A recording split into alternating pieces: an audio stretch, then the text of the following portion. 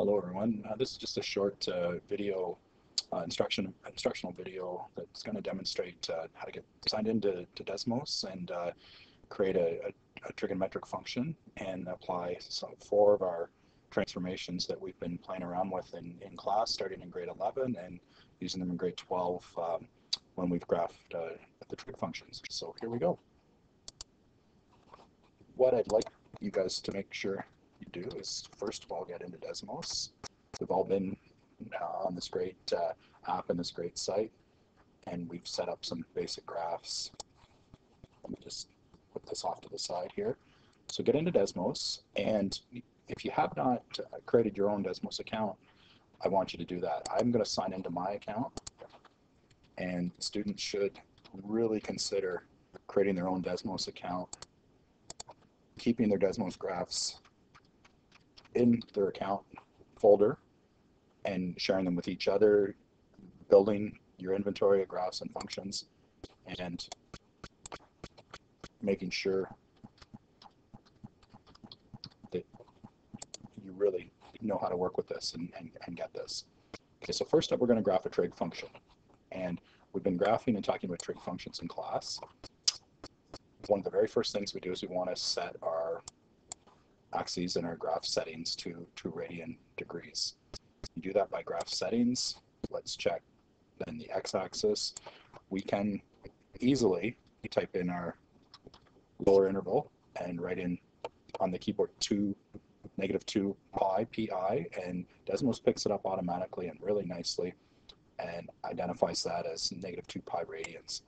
Let's then do our upper boundary, negative, or sorry, positive 2 pi, and my step factor is going to be pi over 6, what we commonly use in class. My y-axis, I'm going to go, let's go down negative 2, let's go up 4, and let's go step by 1. And if I click off of this, and I see right away that I've got a nice set axes in, in terms of radians, just like we're used to when we graph in Desmos. Okay, next up.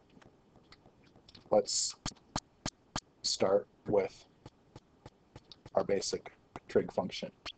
Now, I'm not going to use, I'm, I'm going to continue to use f at x, so functional notation, but I want to okay, use theta here for my known and get in the habit of, of properly writing a, a functional notation uh, with, with gradient graph here.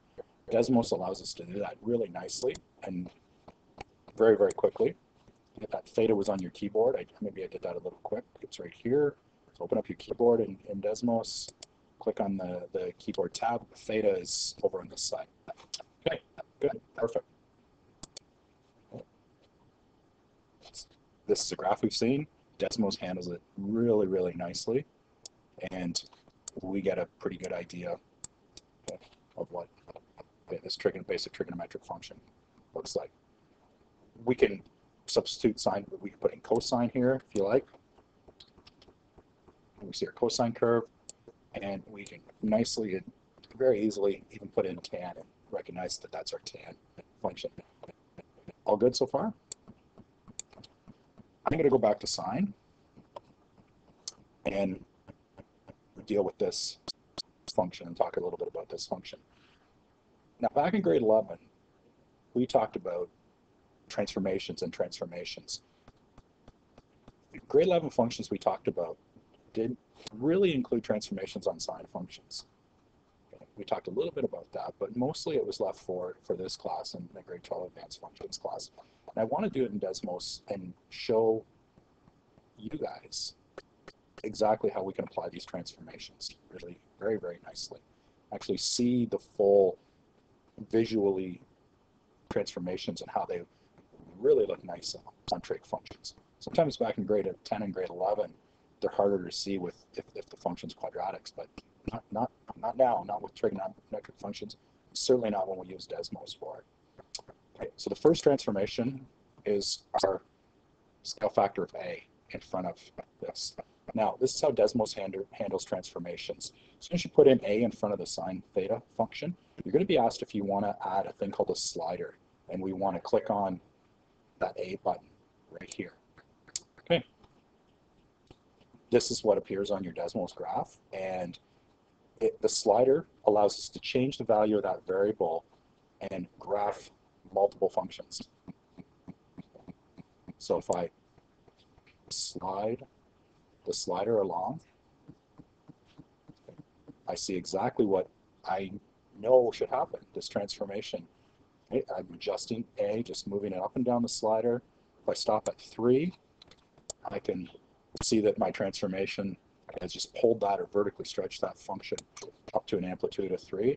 Drop it down, negative, reflects it, negative 2, okay, just all the things we're used to seeing, but so nice and clear, clearly shown in Desmos. Now, one thing you want to do with sliders is maybe possibly adjust the, the slider boundaries and certainly maybe adjust our step function here. Notice as I'm moving this along, I'm going up by increments of up 0.1, right? I can quickly adjust that, much like my graph settings over here, by clicking on just one of the okay, one of the areas okay, on my slider, and let's go let's go down a negative two. Okay, let, let, let's adjust my A boundaries. Let's go up to about five, and let's go on a step of the one. Okay, so click off of this. Now I can just a little bit nicer here. So I'm going in whole number increments along this A slider, this A transformation. So next up would be two. Notice on my graph, I'm just pulling this up a nice stretch. Three, it's going to grab it even more. Four. And finally, five. See that? If I play around with my settings, my graph settings, my slider settings, and my zoom in, zoom out feature, I get to see the full effect on this graph. Nice? Good. Okay, we've done other transformations. Okay. Yep. Our K is a compression or stretch vertically along the x-axis. We've seen this. We've talked about this earlier in class, back in grade 11. But Desmos lets us see it so clearly and nicely. It, it's, it's a wonder we haven't used this before and, and, and certainly enjoy and see visually what, what it is we have to work on. What about the next one?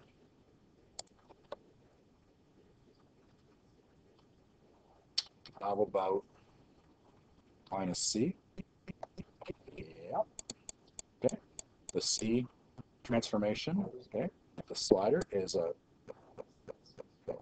vertical translation, left or right. Okay, let me set this to 1. Let me set this to 1. And let's fiddle around with this K transformation. Okay, and go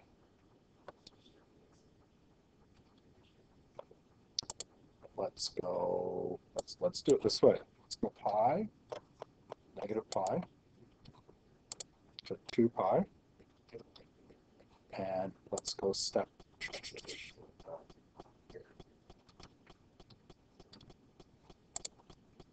Okay. And I can move my values here. Move that around.